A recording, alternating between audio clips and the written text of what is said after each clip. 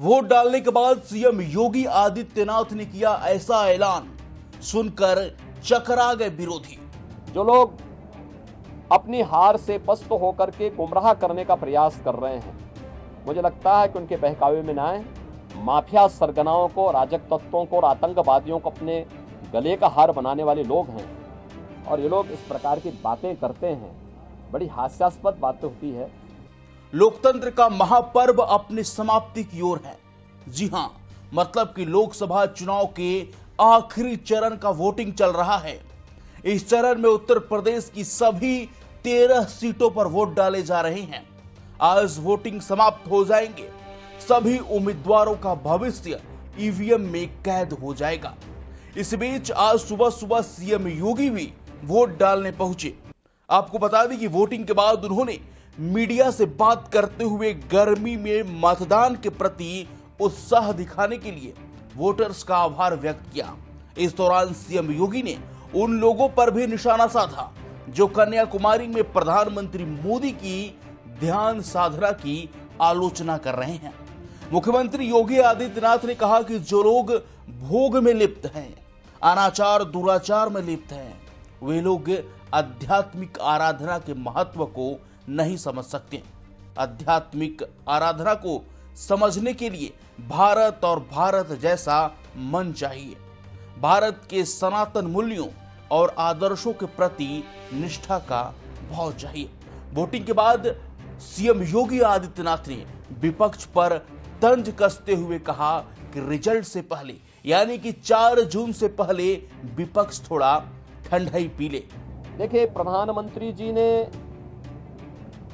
अपने ढाई तीन महीने के व्यस्त दिनचर्या में से कुछ समय यद्यपि उनका पूरा जीवन भारत माता के लिए समर्पित है।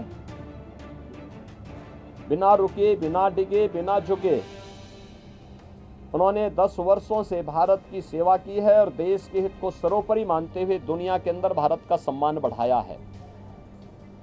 मोदी जी की यह आराधना एक आध्यात्मिक आराधना, यह आध्यात्मिक आराधना राष्ट्र आराधना है।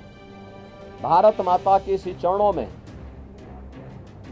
वह एक आराधना है, जो राष्ट्र को समर्पित है। भारत की 140 करोड़ जनता की, जनार्दन की सेवा के लिए, उनके उज्जवल भविष्य के लिए समर्पित है।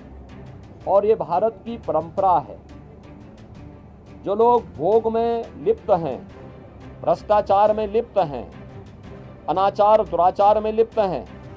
वे लोग आध्यात्मिक आराधना के महत्व को नहीं समझ सकते। आध्यात्मिक आराधना को समझने के लिए भारत और भारत जैसा मन चाहिए। भारत की सनातन मूल्यों और आदर्शों के प्रति निष्ठा का भाव चाहिए, जिनके मन में भारत के प्रति आस्था का भाव नहीं है। भारत के सनातन मूल्यों और आदर्शों की ध्वजियाँ उड़ाना जिन्होंने अपने जीवन का उद्देश्य समझ लिया था और जिनके कारनामों से जनता उनको बार बार ठुकराई है, वे लोग मोदी जी के इस ध्यान साधना और इस राष्ट्र आराधना का माखोल भले ही उड़ा सकते हैं, लेकिन जनता जनार्दन अपने नेता के समर्थन में और उनके पूरे कार्यक्रमों के साथ, पूरे समर्पित भाव के साथ जुड़ी हुई है और जनता जनार्दन का पूरा आशीर्वाद, पूरा स्नेह मोदी जी के साथ में है और हम विश्वास के साथ कह सकते हैं कि यह मोदी जी की ध्यान साधना का कार्यक्रम भी राष्ट्र आराधना का हिस्सा है और इसका लाभ भी देश को प्राप्त होगा। जो लोग अपनी हार से पस्त होकर के गुमराह करने का प्रयास कर रहे हैं, मुझे लगता है कि उनके बहकावे में ना आए। माफिया सरगनाओं को, राजक तत्वों को और आतंकवादियों को अपने गले का हार बनाने वाले लोग हैं। और ये लोग इस प्रकार की बातें करते हैं। बड़ी हास्यास्पद बातें होती है। चुनाव निष्पक्ष हैं। भारत निर्वाचन आयोग पूरी निष्पक्षता के साथ इलेक्शन करवा रहा है। और इलेक्शन पूरी व्यवस्था भारत निर्वाचन आयोग के मार्गदर्शन और नेतृत्व में पूरे देश के अंदर चल रही है, प्रदेश में भी चल रही है। भारत निर्वाचन आयोग, जहाँ पे कहीं भी कोई शिकायत मिलती है, त्वरित एक्शन लेकर के कार्रवाई भी करती है। लेकिन समाजवादी पार्टी की चूँकि लोकतंत्र में निष्ठा नहीं है, बाबा साहब भीमराव अंबेडकर और उनके द्वारा बनाए गए संविधान का हमेशा इन्होंने अपमान किया है।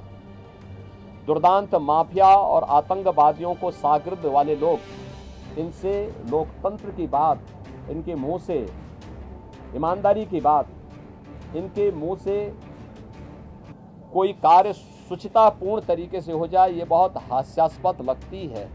और इसलिए जैसी करनी, वैसी भरनी।